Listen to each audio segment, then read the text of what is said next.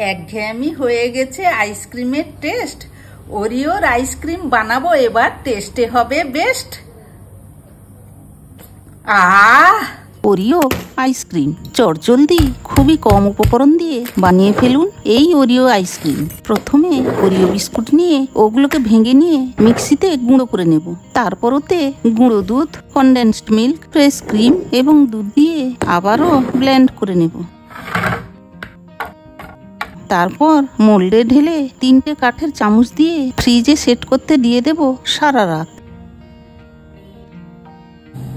তারপর ফ্রিজ থেকে কেড়ে এনে আনমোল্ড করে ঠান্ডা ঠান্ডা উপভোগ করুন লোভনীয় চকলেটি, সুস্বাদু ওরিও আইসক্রিম।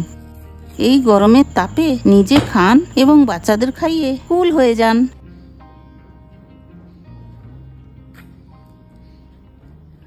দারুণ!